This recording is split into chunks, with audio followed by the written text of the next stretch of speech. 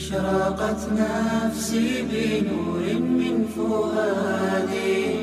حينما رددت يا رب العباد وانتشت روحي إن الحمد لله نحمده ونستعينه من يهده الله فلا مضل له ومن يضلله فلا هادي له.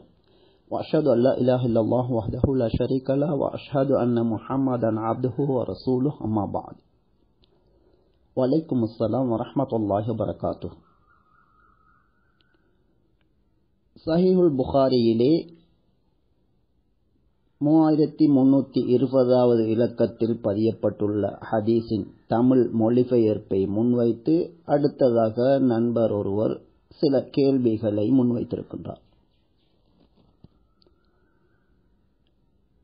இந்த ஹதீஸ் என்ன சொல்லுகின்றதென்றால் உங்களில் யாராவது ஒருவருடைய பாத்திரத்திலே ஈ விழுந்து விட்டால் அந்த ஈயை முற்றாக அந்த பானத்திலே அமிழ்த்தி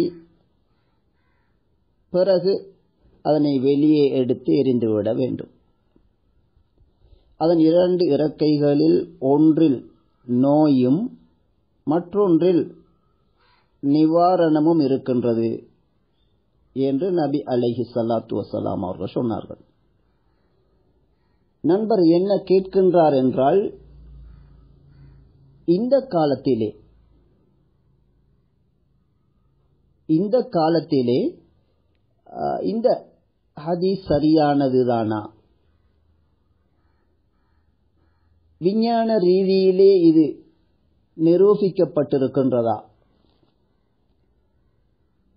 ஈ என்பது பொதுவாக எப்போதுமே அசுத்தமான இடங்களிலே அமர்ந்து நஜீஸானதாக விஷக்கிருமிகளை சுமக்கக்கூடியதாக இருக்கின்றது என்பதை அனைவரும் அறிந்து வைத்திருக்கின்றோம். இப்படியான நிலையிலே இந்த e ஈயை பானத்திலே அமிழ்த்தி எடுப்பதென்பது எந்த அளவிற்கு பொருத்தமானது? அதேபோன்று அதன் ஒரு இறக்கையில் மருந்து இருக்கின்றது என்பது விஞ்ஞான ரீதியிலே நிரூபிக்கப்பட்ட ஒன்றா? அதேபோன்று நான் செவிமடுத்திருக்கக்கூடிய ஹதீஸ்களிலே ஒன்று உங்களது மனது வெறுக்கக்கூடிய ஒன்றை எனது பெயரால் யாராவது சொன்னால் அது நான் சொன்னதல்ல என்றும் ஹதீஸை நான் பார்த்திருக்கின்றேன். எனவே இப்படி அசுத்தமான விஷக்கிருமிகளை கொண்ட இந்த ஈ இது பானத்திலே விழுந்து விட்டால் அதனை முற்றாக அதிலே அமழ்த்துவதென்பது எந்த அளவிற்கு பொருத்தமானது என்பவை பற்றி ஒரு தெளிவான விளக்கம் தருமாறு கேட்கப்பட்டிருக்கின்றது. ஆம் கோடிக்கணக்கான எமது சமூகத்தில் உள்ள மக்கள். ஒரு முஸ்லிமுடைய அடிப்படை நம்பிக்கைகள் எப்படி இருக்க வேண்டும் என்ற விடயத்தில் கூட தெளிவில்லாத ஒரு கைசேதமான நிலை காணப்படுகின்றது. இந்த கேள்விக்குரிய பதிலை தெளிவாக செவிமடுப்பவர்கள் அல்லாஹ் நலவை நாடினால் இஸ்லாம் என்றால் எத்தகையது என்பது பற்றிய சில அடிப்படைகளை அறிந்து கொள்ளலாம். மிகப்பெரிய ஒரு அறிவாக மக்கள் நினைத்திருக்கக்கூடிய விஞ்ஞானம் அதன் உண்மையான பெருமதி என்ன என்பதை நாம் அறிந்து கொள்ளலாம். நபியின் பெயரால் விதம் விதமான புது புது செய்திகள் வரும். இந்த செய்திகளாலேயே மக்கள் எப்படி ஃபித்னாவிலும் வழிகேட்டிலும் கொண்டு செல்லப்படுவார்கள் என்பதையும் நாம் விளங்கிக் கொள்ளலாம். முதலாவது சஹிஹுல் புகாரியிலே பதிவு செய்யப்பட்டுள்ள இந்த ஹதீஸ். சஹிஹுல் புகாரியை தொகுத்த இமாம் ஹதீஸ் கலையின் முதல் நிலை இமாம்களில் ஒருவர். அவர்களுடைய இந்த நூல் ஒட்டுமொத்த ஹதீஸ் நூல்களிலும் முதலாவது இடத்தை பெற்றுக்கொண்ட ஒரு நூல். ஒரு சில செய்திகளை தவிர ஒட்டுமொத்த சஹிஹான ஹதீஸ்களையும் கொண்ட சஹில் புகாரியின் இந்த ஹதீஸ் மிகச்சரியானது. ஹதீஸ்கலை விதிமுறைகளினோடு வகி மூலம் அருளப்பட்ட ஒரு செய்தி இது என்பதை அல்லாஹ்வின் அருளை கொண்டு ஆணித்தரமாக இதனை நிரூபிக்க முடியும். இதன் உண்மை நிலை இது சரியான ஹதீஸ். இது இந்த காலத்தில் மட்டுமல்ல மனிதனுடைய ஆகப்பெரிய பலவீனம் மனிதன் எல்லா துறையிலும் படிப்படியாக வளர்கின்றான். இன்று விஞ்ஞானம் நிறைய வளர்ந்திருக்கின்றது. ஆனால் இத்தோடு முடிந்து விட்டது என்று நினைத்தால் அவனைப் போன்ற அறிவீனன் யாரும் கிடையாது. நேற்றைய மக்களோடு ஒப்பிடும்போது இன்றைய விஞ்ஞானம் அதனை விட வளர்ந்திருக்கலாம்.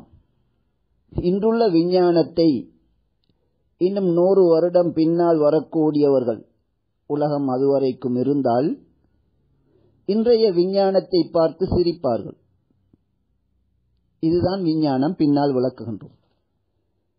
எனவே இன்றைய காலத்திலே இந்த ஹதீஸ் சஹிஹானதா என்பது ஒரு இந்த கேள்வி எந்த அளவு பொருத்தமானது என்பதை ஒரு முஸ்லிமும் சிந்திக்க வேண்டும். இஸ்லாம் என்பது சாதாரண இந்த விஞ்ஞானிகள் போன்ற விஞ்ஞானிகளை கொண்ட மனித இனத்தின் ஒட்டுமொத்த மனித இனத்திலே காணப்படுகின்ற ஒரு துளியளவு அறிவை பங்கு வைத்துக் கொண்ட படைப்பினங்களின் அறிவு அல்ல இந்த இஸ்லாம். அல் குர்ஆன் வசனங்கள் ஒவ்வொன்றும் சஹிஹான ஹதீஸ்கள் ஒவ்வொன்றும் அந்த சஹிஹான ஹதீஸிலே இந்த ஹதீஸும் அனைத்து படைப்பினங்களையும் படைத்த அல்லாஹுவால் மறுமை நாள் வரைக்கும் பொய் என்று நிரூபிக்க முடியாத ஒரு கொள்கை தகவல் களஞ்சியம்தான் இஸ்லாம் என்பது. எனவே ஈயின் இறக்கையிலே ஒரு இறக்கையில் நோயும் விஷம் அல்ல? விஷம் என்று கேள்வியிலே. தவறாக குறிப்பிடப்பட்டிருந்தது. ஒரு இறக்கையில் தா தா என்றால் நோய். ஈயின் இரண்டு இறக்கைகளில் ஒரு இறக்கையிலே நோய் இருக்கின்றது. மற்றொரு இறக்கையில் ஷிஃபா நிவாரணி இருக்கின்றது என்று நபி அலஹி சலாத்து வஸ்லாம் அவர் சொன்னார்கள். இந்த ஹதீஸ் இன்றைய உலகில் மட்டுமல்ல உலகம் அழியும் வரைக்கும் இந்த ஹதீஸ் உண்மையானது. இது தவறானது என்பதை ஒட்டுமொத்த விஞ்ஞானிகள் ஒன்று சேர்ந்தாலும் நிரூபிக்க முடியாது.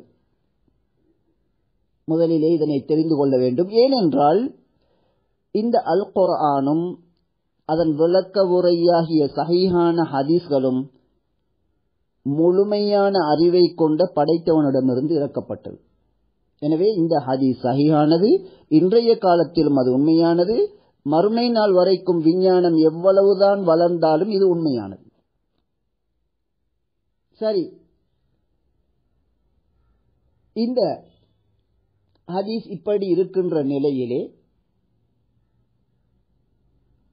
வேறு ஒரு ஹதீஸை படித்திருப்பதாக கேள்வியிலே குறிப்பிடப்படுகின்றது. அது என்ன ஹதீஸ்? அல்லாஹின் அருளை கொண்டு பல தசாப்தங்கள் குர்ஆன் ஹதீஸிலே எவை இருக்கின்றன எவை இல்லை என்பதிலேயே நாம் காலத்தை கழித்துக் கொண்டிருக்கின்றோம். இன்னும் ஒரு ஹதீஸ் படித்ததாக குறிப்பிடப்படுகின்றது. இந்த ஈயிலே விஷக்கிருமி இருப்பதாக சொல்லப்பட்டது. உண்மையில் ஈயிலே அதன் இறக்கையில் நோய் இருக்கின்றது. விஷம் என்பது இங்கே மற்றொரு ஹதீஸை படித்தேன் என ஒரு செய்தி சொல்லப்படுகின்றது. அந்த செய்தியில் ஈயிலே இருக்கின்ற விஷம் அல்ல. அதனை போன்று ஆயிரம் மடங்கை விட கடினமான விஷம் கொண்ட ஒரு செய்தியை நீங்கள் ஹதீஸிலே படித்தேன் என குறிப்பிட்டிருக்கின்றீர்கள். உங்களை போன்ற பொதுமக்களுக்கு இத்தகைய செய்திகள் வருகின்ற போது அதனை ஹதீஸாக நினைத்து நீங்கள் சொல்வது அது நடைமுறையிலே நடக்கக்கூடியது. ஆனால் துர்ப்பாக்கியம் என்னவென்றால்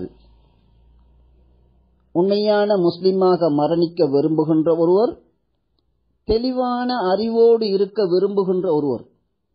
இந்த ஹதீஸை இங்கே நாம் சொல்லப் போகின்ற ஹதீஸை தெரிந்து கொள்வது கட்டாயமாகும். இதனை அறிந்த ஒருவர்தான் அறிவு ரீதியில் எடுத்துக்கொண்டால் கூட தெளிவான அறிவோடு இருக்கின்றார் என்று நாம் சொல்ல முடியும். அந்த ஹதீஸ் என்னவென்றால் ஹதீஸ் என்ற பெயரிலே உங்களுக்கு கிடைத்த செய்தி நபி அவர்கள் எச்சரிக்கின்ற தஜ்ஜால்கள் கல்லாபுகள் என்று நபி அவர்களுடைய வார்த்தையிலே சொன்னார்கள். சஹி முஸ்லிமிலே இமாம் முஸ்லிம் அவர்கள் தங்களுடைய இந்த சஹிவுல் புகாரி போன்று சஹியான ஹதீஸ்களை மட்டும் தொகுத்த நூல் சஹிப் முஸ்லிம் என்பது நாம் அறிந்தவடைய அதன் முன்னுரையிலே போலியான செய்திகளை சொல்லக்கூடியவர்களிடமிருந்து ஹதீஸ் நாம் எடுக்கக்கூடாது என்ற விடயம் பற்றி தெளிவுபடுத்தும் போது இமாம் நவி அவர்கள் பதிவு செய்திருக்கின்ற ஒரு முக்கியமான ஹதீஸ் ஒவ்வொரு முஸ்லிமுக்கும் அவசியமானது தெளிவான அறிவோடு இருக்க விரும்புகின்றவர்களுக்கு அவசியமானது. ஜமானி தஜ்ஜாலூன் இறுதி காலங்களிலே தஜ்ஜால்களும் கல்லாபுகளும் தோன்றுவார்கள். தஜ்ஜால் என்றால் உள்ளே இருக்கின்ற பலவீனங்கள் குறைபாடுகளை காட்டாமல் வெளியிலே அழகுபடுத்தி அலங்கரித்து காட்டக்கூடியவன். இதுதான் உண்மையான தஜ்ஜால் என்பதற்கு கருத்து. அதே போன்று கதாப் என்றால் பொய்யன் பெரும் பொய்யன் என்பது உங்களுக்கு தெரியும். நபி அவர்கள் எச்சரிக்கின்றார்கள் இந்த தஜ்ஜால் கதாப் இத்தகையவர்கள் உங்களிடம் வருவார்கள். நீங்களோ உங்களுடைய மூதாதையரோ கேள்விப்பட்டிராதவற்றை அவர்கள் உங்களுக்கு ஹதீஸாக சொல்லுவார்கள். அவர்களையும் எச்சரிக்கின்றேன் உங்களையும் எச்சரிக்கின்றேன். லா யுதில்லூனக்கும். உங்களை அவர்கள் வழிகெடுத்து விட வேண்டாம். வலா யஃப்தினூனக்கும். உங்களை அவர்கள் ஃபித்னாவில் ஆழ்த்திவிடவும் வேண்டாம். எச்சரிக்கையாக இருந்து கொள்ளுங்கள் என்று நபி அலி இஸ்லாத்து வஸ்லாம் அவர் சொல்கின்றார்கள் இதுதான் உண்மையான ஹதீஸ். இப்போது நீங்கள் படித்ததாக சொன்னீர்களே இந்த செய்தியை ஹதீஸாக கொண்டு வந்தவர்கள் நபி அவர்கள் சொன்னது போன்று எனது உம்மத்திலே இறுதி காலத்தில் தோன்றக்கூடிய தஜ்ஜால்களில் ஒருவர் கல்லாபுகளில் ஒருவர் இந்த செய்தியை அதாவது நீங்கள் குறிப்பிட்ட செய்தி உங்கள் மனது ஏற்கின்ற விடயமாக ஹதீஸ் என்று சொன்னால் அதனை ஏற்றுக்கொள்ளுங்கள். உங்களுடைய மனது ஏற்கவில்லை என்றால் அது ஹதீஸ் அல்ல என்ற ஒரு செய்தியை இன்றைய காலத்திலே தமிழ் பேசும் மக்களுக்கு மத்தியில் மிகப்பெரிய ஃபிட்னாவை உண்டு பண்ணிய பி. ஜெயினுலாபிதீன் என்பவர் கொண்டு வந்த செய்திதான் நீங்கள் குறிப்பிடுகின்ற செய்தி. அது நபி அவர்கள் சொன்ன செய்தி அல்ல. சஹி முஸ்லிமிலிருந்து நாம் சொன்ன செய்தியின் ஒளியில் நீங்கள் அந்த செய்தியை பார்த்தால் அந்த செய்தி தஜ்ஜால் அலங்கரித்து காட்டக்கூடியவர். அவர் எதனை சொல்ல விரும்புகின்றாரோ அதனை அலங்கரித்து காட்டுவார். அதனை விட முக்கியம் என்றால் என்ன என்றால் பெரும் பொய்யர். அவர் பெரும் பொய்யன் என்பதை நாம் சொல்லவில்லை அவரே சொல்லுகின்றார். பொய்யை நாங்கள் அள்ளி விடுவோம். கொள்கையை வளர்ப்பதற்காக பொய் சொல்வதில் தப்பு கிடையாது. நபி அவர்கள் தாராளமாக பொய் சொன்னார்கள் என்றெல்லாம் ஒரு தஜ்ஜாலாக மக்களை வழிகெடுக்கக்கூடிய ஒருவராக தமிழ் பேசும் மக்களுக்கு மத்தியிலே அப்படியான ஒரு கொள்கையையே உருவாக்கி விட்டவர் தான் இந்த பி. ஜெயினுல் என்பவர். இப்போது நாம் எச்சரிக்கை அடைய வேண்டும். அவருடைய குஃப்ரின்பால் செல்லுகின்ற முக்கியமான கொள்கைக்கு ஆதாரமாக இந்த செய்தியைத்தான் அவர் வைத்திருக்கின்றார். உங்களுடைய மனது ஏற்றுக்கொள்ளுமானால் அவற்றை ஹதீஸாக ஏற்றுக்கொள்ளுங்கள்.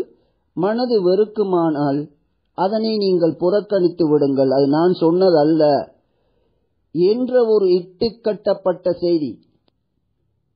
இமாம் இப்னுல் ஜவுசி அவர்கள் இந்த செய்தியை இது ஒரு இட்டுக்கட்டப்பட்ட செய்தி என்று அவர்களுடைய நூலிலே அவர்கள் குறிப்பிடுகின்றார்கள்.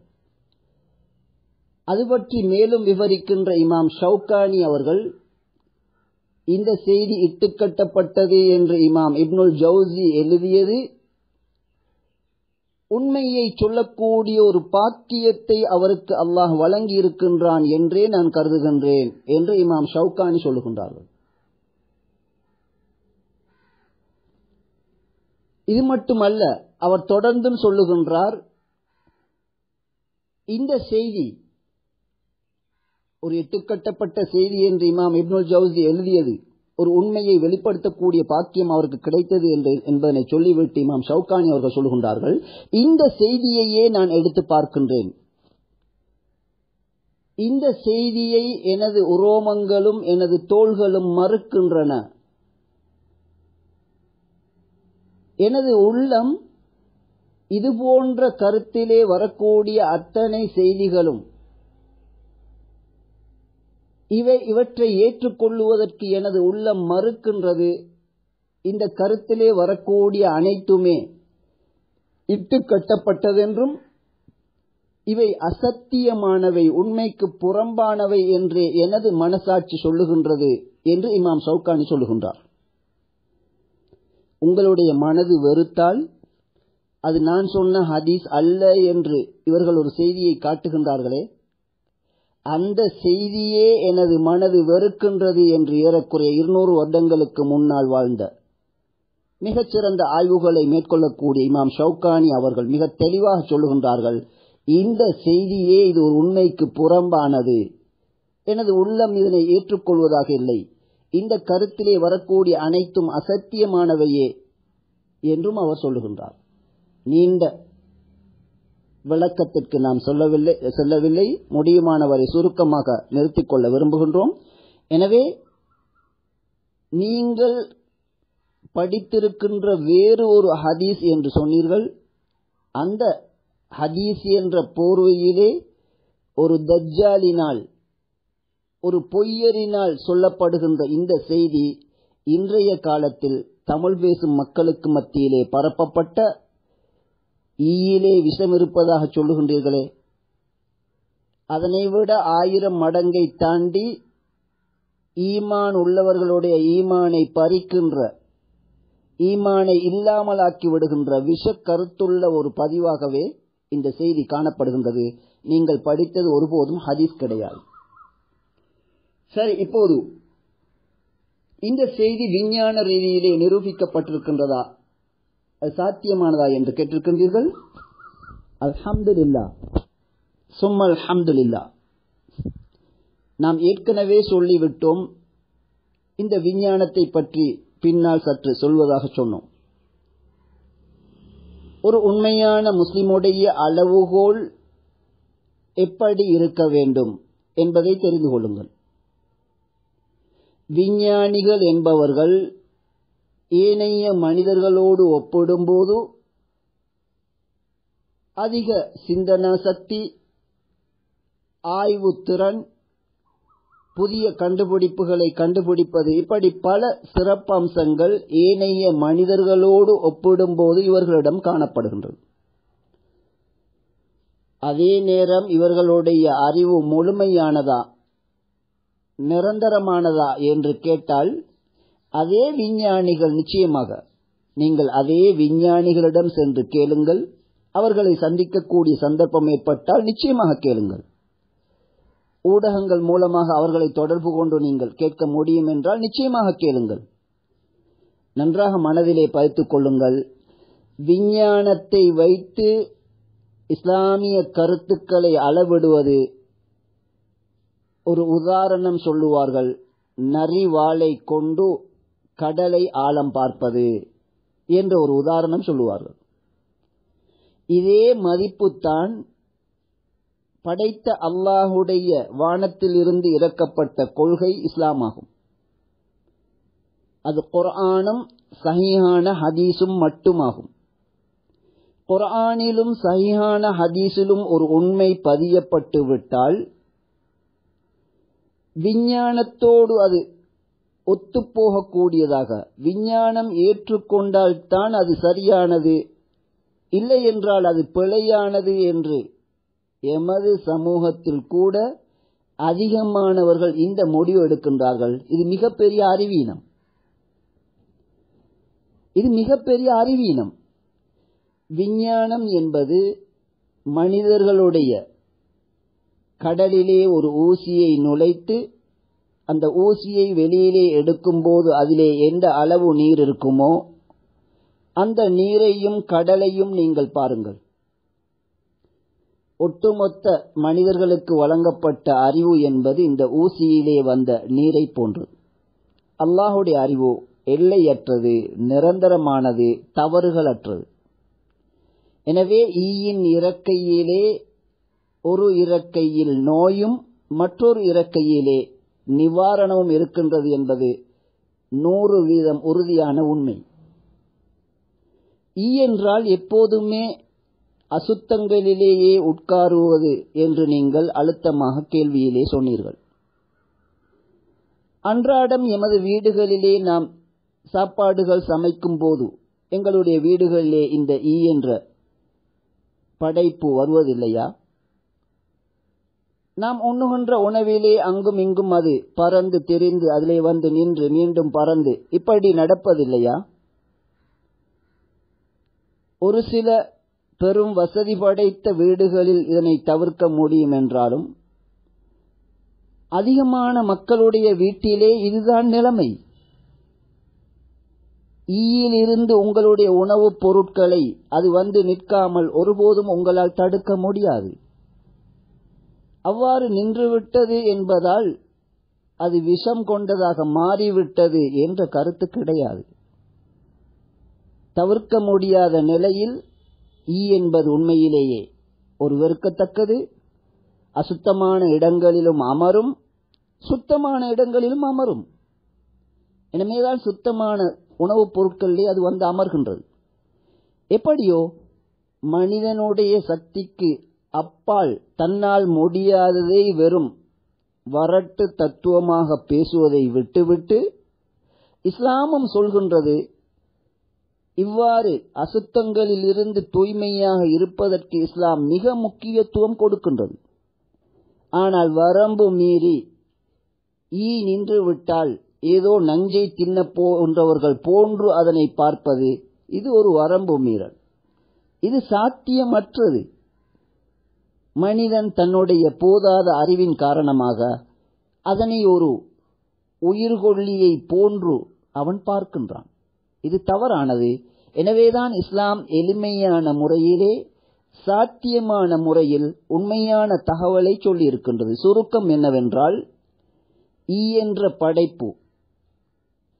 இது ஒரு மனிதனுக்கு பொருத்தமற்றது கிருமிகளை காவக்கூடியது எனவே இதிலிருந்து முடியுமான வரைக்கும் நாம் தூரமாக இருக்க வேண்டும்.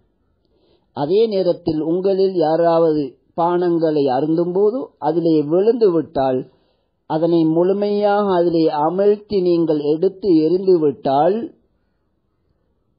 நிச்சயமாக உங்களுக்கு அதன் மூலம் ஏற்படுகின்ற நோய் ஏற்பட மாட்டாது. அதிலே நோய் இருப்பது போன்று அதிலே மருந்தும் இருக்கின்றது என்று படைத்த அல்லாஹ் நபி மூலம் சொல்லி இருக்கின்றான் இதிலே எந்த சந்தேகமும் கிடையாது. இப்போது உங்களுடைய கேள்வி விஞ்ஞான ரீதியிலே இது நிரூபிக்கப்பட்டதா என்பது கேள்வி. முதலிலே விஞ்ஞானத்தின் பெருமதியை நீங்கள் தெரிந்து கொள்ள வேண்டும். விஞ்ஞானத்தை குர்ஆன் சுண்ணாவை கொண்டு நீங்கள் அளக்க வேண்டுமே தவிர குர்ஆன் சுண்ணாவை விஞ்ஞானத்தை கொண்டு அளந்தால் இஸ்லாத்தின் அடிப்படை இன்னும் நீங்கள் படிக்கவில்லை என்பதுதான் கருத்து. உண்மையான ஒரு முஸ்லிமிடம் எந்த நம்பிக்கை இருக்க வேண்டுமோ அந்த நம்பிக்கையை நீங்கள் இன்னும் விளங்கிக் கொள்ளவில்லை என்பதுதான் கருத்து.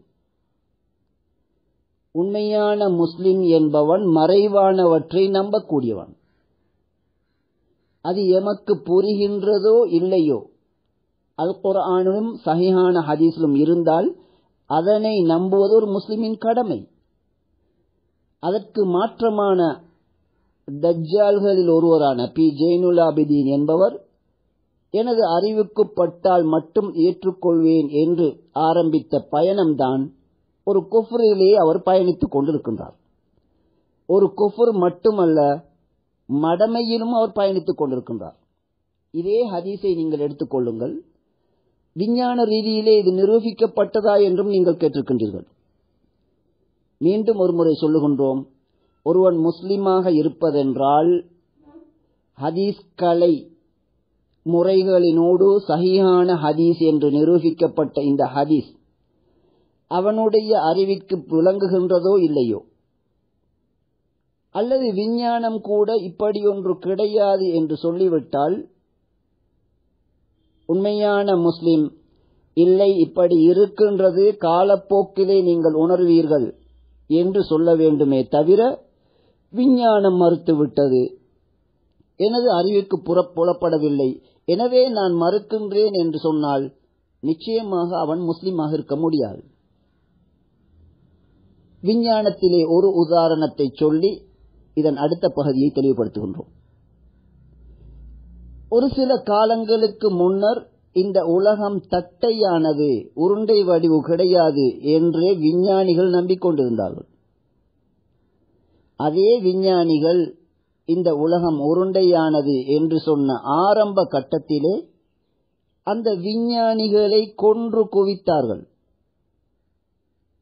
ஆய்வு மூலம் உலகம் உருண்டையானது என்பதை முதலிலே சொன்ன விஞ்ஞானிகளை கொன்று குவித்தார்கள்.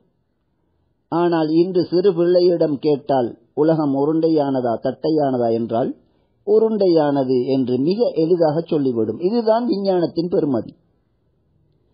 விஞ்ஞானம் என்பது மனித கண்டுபிடிப்புகள். அவர்கள் பெறும் சிந்தனையாளர்கள் ஆய்வாளர்கள் ஒவ்வொரு விடயத்தையும் ஆதாரங்களோடு தேடுகின்றவர்கள். ஆனால் அவர்கள் மனிதர்கள். அவர்களுடைய ஆய்வுகள் சரி என்பதற்கு எந்த உத்தரவாதமும் கிடையாது. அவர்களுடைய அறிவு இன்னும் வளருகின்ற போது பிற்காலத்திலே அதற்கு நேர் முரணான கண்டுபிடிப்புகளை அவர்கள் வெளியிடுவார்கள். இதுதான் விஞ்ஞானத்தின் உண்மையான தன்மை. அது பற்றி விரிவாக இங்கு விளக்க முடியாது. எனவே குரான் சுண்ணாவுடன் விஞ்ஞானம் முரண்பட்டால் அந்த விஞ்ஞான கருத்து இன்னும் வளரவில்லை என்பதுதான் நூறு வீதம் உண்மை. சரி இப்போது இதே ஹதீஸுக்கு நாங்கள் மீண்டும் வருவோம். இந்த ஈ ஒரு பான ஒரு பானத்திலே விழுந்து விட்டால் அதனை முழுமையாக அமழ்த்தி எடுத்து வெளியிலே எறிவதென்பது ஒரு இறக்கையிலே நோயும் மற்றொரு இறக்கையிலே மருந்தும் இருக்கின்றது என்பது உண்மையா? விஞ்ஞான ரீதியில் நிரூபிக்கப்பட்டதா என்று கேட்டால் அல்லாஹுக்கே புகழ் அனைத்தும் நிச்சயமாக விஞ்ஞான ரீதியிலும் அது நிரூபணமாயிருக்கின்றது. நிறைய சான்றுகள் அவசியம் கிடையாது. ஒரு சுருக்கமான ஒரு சம்பவத்தையே இங்கு சொல்லி முடிக்கின்றோம். அதாவது தன்னை முஸ்லிம் என்று சொல்லக்கூடிய ஒரு வாலிபர் ஜெர்மனியிலே ஒரு பல்கலைக்கழகத்திலே அவர் படிக்கின்றார். அந்த பல்கலைக்கழகத்திலே உயிரியல் விரிவுரையாளராக இருந்த ஒருவர் இந்த ஹதீஸ் இது நபி அவர்கள் சொன்னது என்பது உண்மையா என்று இவரிடம் கேட்கின்றார். ஆம் இப்படி ஹதீஸ் ஒன்று இருக்கின்றது என்றவுடன் அதன் பிறகு அந்த பேராசிரியர் இது பற்றி ஆய்வு செய்கின்றார். ஆய்வு செய்ததன் பிறகு அவருக்கு ஆச்சரியம் ஏற்படுகின்றது. இதன் உண்மை தன்மையை அவர்கள் அவர் ஆய்வு மூலம் தெரிந்து கொள்கின்றார். சரி இப்படி ஒரு ஹதீஸ் இருக்கின்றது என்பதை ஒரு சாதாரண மாணவன் சொன்ன நிலையிலே மிகப்பெரிய இஸ்லாமிய பல்கலைக்கழகம் இருக்கக்கூடிய எகிப்துக்கு இவர் தொடர்பு கொள்கின்றார். இப்படி ஈயின் ஒரு இறக்கையிலே மருந்தும் மற்றொரு இறக்கையிலே நோயும் இருப்பதாக சொல்லுகின்ற விடயம் ஹதீஸிலே உண்மையிலேயே இருக்கின்றதா என்று கேட்கின்றார். ஆம் இருக்கின்றது என்று அவர்கள் சொன்னதன் பிறகு இந்த உயிரியல் துறை விஞ்ஞானி பேராசிரியர் இவருக்கு ஆச்சரியம் ஏற்படுகின்றது. அந்த நபி அவர்கள் இப்படி ஒரு செய்தியை சொல்லியிருக்கின்றார்களா? உண்மையிலேயே ஈயின் இறக்கையிலே ஒரு இறக்கையில் மருந்தும் மற்றொரு இறக்கையில் அற்குரிய நோயும் அதற்குரிய மருந்தும் காணப்படுகின்றது என்பதை வியந்து அவர் தெரிந்த இஸ்லாத்தை உடனடியாக அவர் ஏற்கின்றார். இது ஜெர்மனியிலே நடைபெற்ற உண்மையான சம்பவம். ஆகவே இந்த செய்தி ஹதீஸில் விஞ்ஞான ரீதியிலே ஆய்வு செய்யப்பட்டதா என்றால் அதுவும் நிச்சயமாக ஆய்வு செய்யப்பட்டிருக்கின்றது. எனவே இந்த ஹதீஸ் இன்றைய காலத்திற்கு மட்டுமல்ல மர்மை நாள் வரைக்கும் பொருந்தக்கூடியது. மிக கவனமாக நீங்கள் இருக்க வேண்டியது என்னவென்றால் எங்களுடைய மனது வெறுப்பவை ஹதீஸ் கிடையாது என்ற ஒரு ஃபித்னாவை பி. ஜெயினுலாபிதீன் இன்றைய காலத்திலே மக்களுக்கு மத்தியில் உருவாக்கி மிக அதிகமானவர்கள் குஃப்ரின் பாதையிலே சென்று கொண்டிருக்கின்றார்கள். ஈமானிலிருந்து தூரமாகி செல்லுகின்றார்கள். எனவே அல்லாஹ் அவனுடைய அல் குரானில் அதன் விளக்க உரையாகிய சுண்ணாவிலே உள்ளதை அது விஞ்ஞானம் ஏற்கின்றதோ மறுக்கின்றதோ அல்லாஹ் சொன்னதை நான் முழுமையாக நம்புகின்றேன் என்று நம்பாத வரையில் ஒருவன் முஸ்லிமாக முடியாது. எனது அறிவுக்கு படுவதையே மட்டும் நான் ஏற்றுக்கொள்வேன் என்றால் அவன் முஸ்லிமாக இருக்க முடியாது. முஸ்லிம்களின் அடிப்படை பண்புகளிலே ஒன்று ஈமானிலே ஒரு அம்சம் தனக்கு தெரியாத மறைவான விடயங்களையும் நம்புவது. எனவே ஹதீஸ் என நீங்கள் கேள்விப்பட்டதாக உங்களுடைய மனது ஏற்றுக்கொண்டால் தான் அது ஹதீஸ் என்று நீங்கள் கேள்விப்பட்டது. அது நபியின் பெயரால் இட்டுக்கட்டப்பட்ட ஒரு செய்தி. ஒரு ஏமாற்றுக்காரர் பொய் பேசக்கூடியவர் இன்றைய காலத்தில் அதனை அதனை மக்களுக்கு மத்தியிலே பரப்பி இஸ்லாத்தை தேடுகின்றவர்களை குஃப்ரிலே அழைத்து சென்று கொண்டிருக்கின்றார் என்பதிலே நீங்கள் கவனமாக இருக்க வேண்டும்.